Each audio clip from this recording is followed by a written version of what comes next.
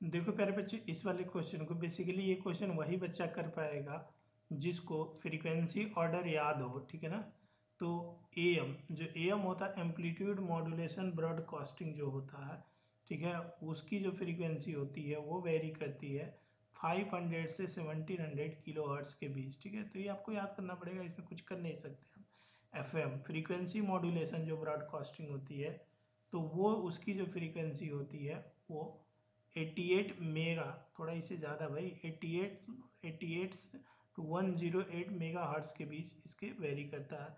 जो टेलीविज़न जो हम लोग टी वी देखते हैं, ठीक है ना, टेलीविज़न ब्रॉडकास्टिंग है, उसकी जो होती है बेसिकली वेरी करती है 54 से फिफ्टी फोर से 890 इतना मेगा हर्ट्स के इक्वल ठीक है ना? और जो सेटेलाइट कम्युनिकेशन है, वो थोड़ा सबसे ज़्यादा गीगा हर्ट्स में ठीक है? तो ये बेसिकली आपको याद करना पड़ेगा। तो फ़र्स्ट का बेसिकली अपना फ़र्स्ट का किसके साथ मैच हो रहा है? सेकेंड मतलब ए का सेकेंड मैच हो रहा है।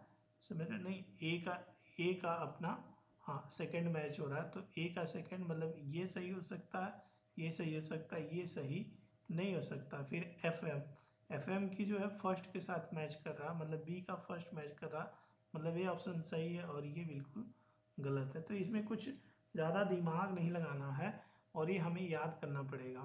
Thank you bye bye take care